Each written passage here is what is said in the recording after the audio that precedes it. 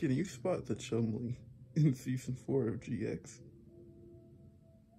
Yu-Gi-Oh!